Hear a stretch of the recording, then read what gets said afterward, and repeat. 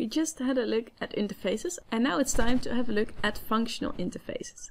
These are interfaces with only one abstract method. And we can annotate them with the annotation at functional interface and later we'll see how we can actually implement these with lambdas. But, but let's not get ahead of ourselves now and first have a look at functional interfaces.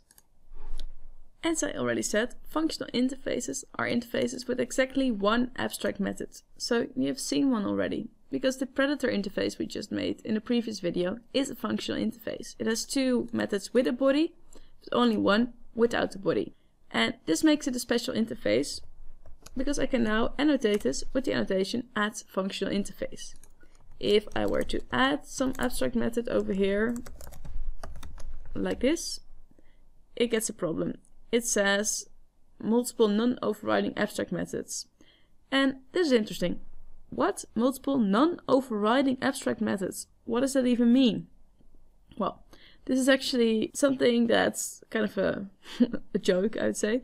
No, it's a it's a fun fact, but this looks like two abstract methods, right? But so does it when you have a look at the ones that are coming from object. Remember the object class in Java? All classes are inheriting from object indirectly. So if you go and have a look at objects over here, we see that it has a bunch of methods in there. Um, so for example, the int hash code. And more famous, the boolean equals. Or even more famous, let's see, the toString.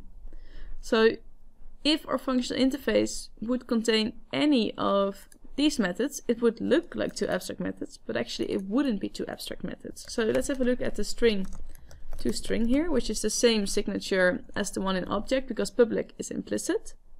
Well, then looking at this, the functional interface, it's fine again. I am, what's the bit problem here though?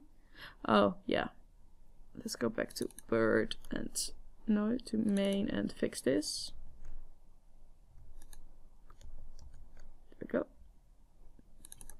can't red lines or red comments in my code. But no, let's uh, let's see what's going on here. Well, what is going on is that this toString methods, it's actually any class is extending from object, so it has an implementation for toString, and therefore this bird, even though it's implementing predator, it would only have to implement this method catch and eat because it's getting to string some sort of default implementation from the object class already. So only one abstract method and the ones from object don't count. Long story short. Also, keep in mind that if one interface is extending the other, it's also inheriting the abstract methods from the, the other. So our predator now is inheriting these two abstract methods as well. And that's a problem because it's no longer abstract since it has three abstract methods right now instead of one. So let's remove this because it doesn't make sense anyways. And there we go. So this is functional interface. Interface. It is only one abstract method. It doesn't need these. It's still a functional interface without these. In the next video, I'm going to show you what kind of extra cool thing you can do with functional interfaces. And it's definitely going to be fun.